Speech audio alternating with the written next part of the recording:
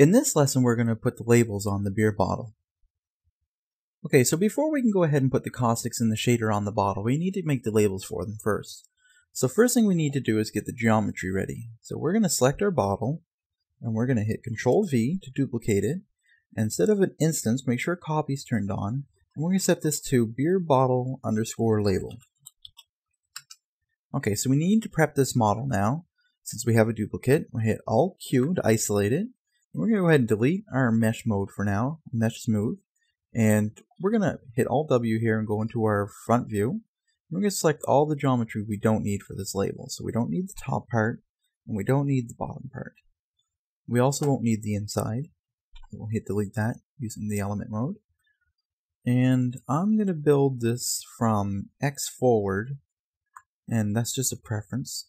So I got to select all these faces here that we're not going to need. So just these ones from the back.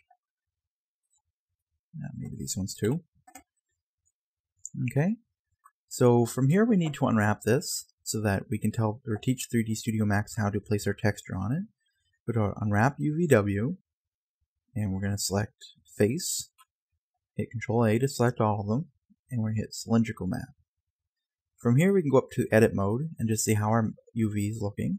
And right now everything seems to be broken apart and that's because the seam on this is actually out here. So to fix that we can just bring this around backwards. So it's facing backwards here. And I'm actually going to try and fix this up a little bit so it's more uniform I guess.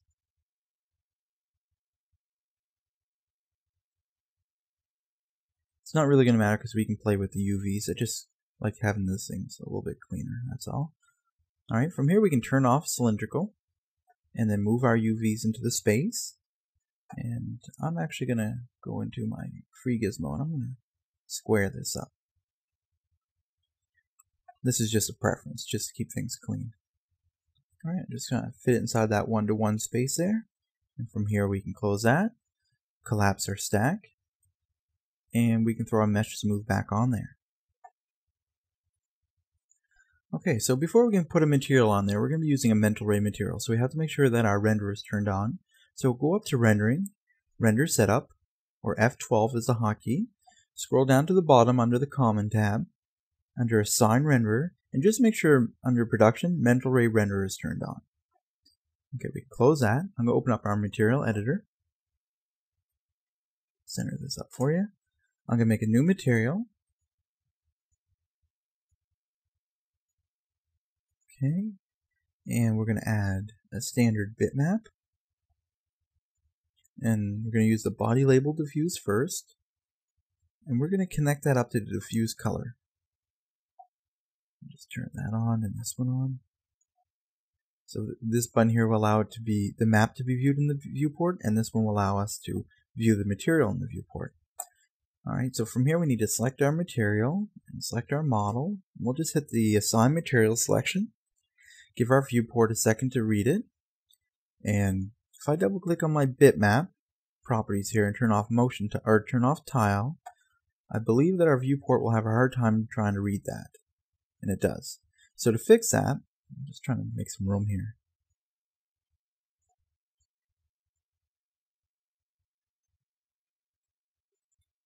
Okay, to fix that, we can go up to View, Show Materials in Viewport as Standard Display with Maps.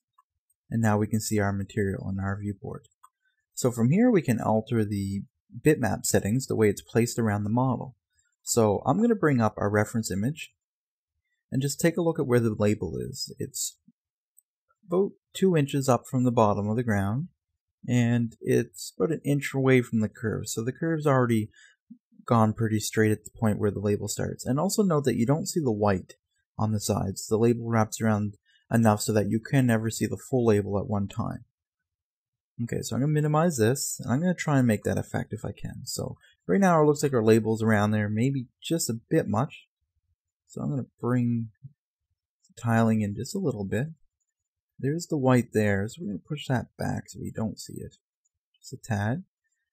And I'm actually going to hit exit isolation mode so that I can see what it looks like on our actual bottle. And I think we need a little bit more room at the bottom here, or it needs to be longer, so we'll just up that a tiny bit. And I think with the neck, it's up too high now.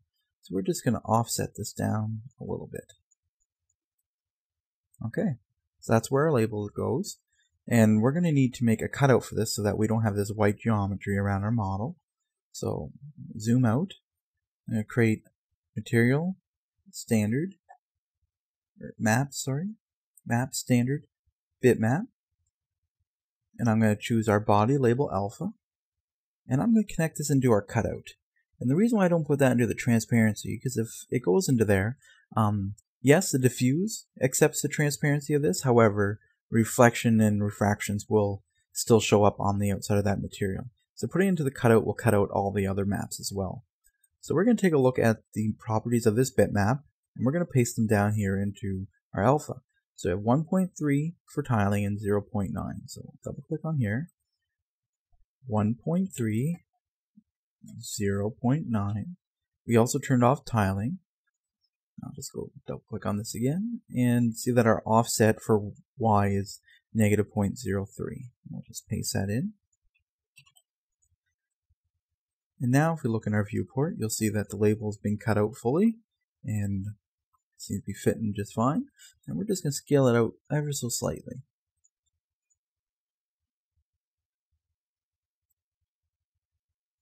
Okay, if we hit render, see the viewport showing the material just fine around the edges. Okay, and in the next uh, tutorial, we're going to go ahead and do the same thing, except now we're going to do it for the neck label. And I encourage you to try and do this by yourself, and if you get hung up, just load that tutorial and give it a shot.